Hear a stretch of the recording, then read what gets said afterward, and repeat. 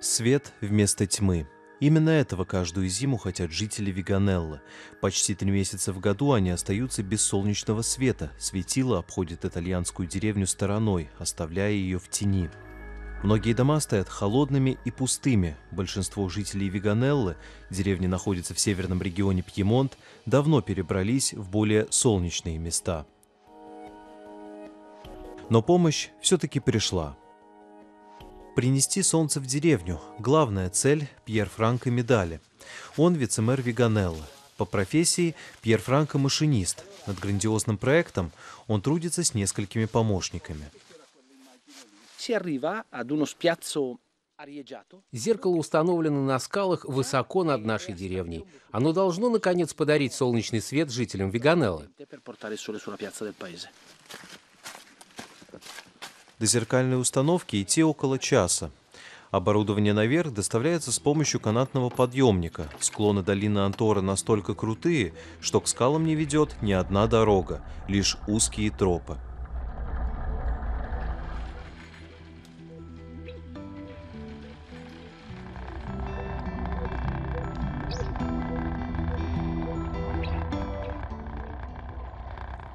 Высота 1100 метров над уровнем долины. До вершины осталось уже немного. На спине у Пьер Франка распределительная коробка. Она необходима, чтобы зеркальная установка наконец заработала. А вот и само зеркало. Его размеры 8 на 5 метров.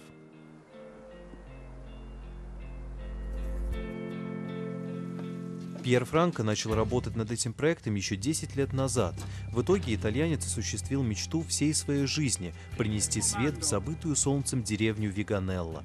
Для Пьер Франко это стало настоящим вызовом. Этот материал отражает 95% солнечного света. Это почти максимальная яркость.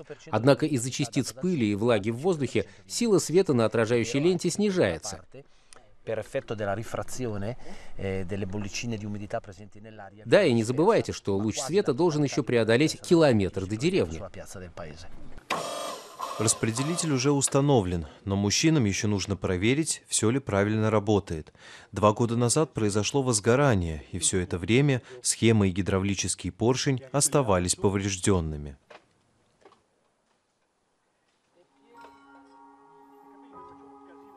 Все это время зеркало стояло неподвижным, а деревня оставалась в тени. Сейчас же установка снова движется. Свет вернулся в Веганеллу. Зеркало создает тени, освещает крыши и фасады домов, которые практически не видели солнечного света. Например, северный портал местной церкви. К удивлению местных жителей, он снова ярко освещен.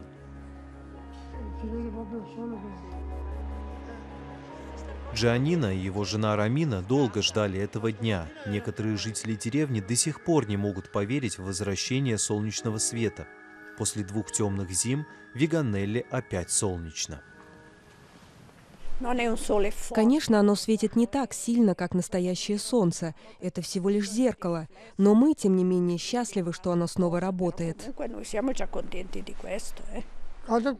Этот цвет согревает мое сердце. Вещи, которые я считал невозможными, все-таки происходят. Мы так рады, что на нашей площади зимой снова светит солнце.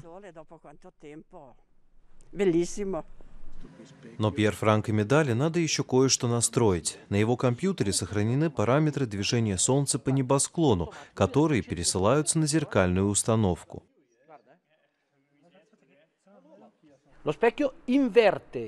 Зеркало медленно движется в противоположном направлении по отношению к траектории Солнца. Таким образом, в течение дня солнечный свет падает на площадь перед церковью.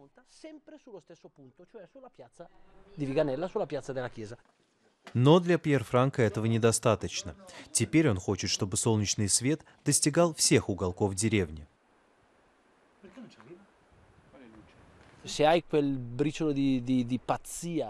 Для того, чтобы генерировать новые идеи, надо быть немного сумасшедшим. В хорошем смысле слова, конечно. Это помогает, когда нужно вырваться из того маленького мира, который нас окружает. Пьер Франко уверен в своем начинании. Зеркало будет обеспечивать Виганеллу светом всю следующую зиму, а новые проекты итальянского инженера и в дальнейшем будут вызывать удивление.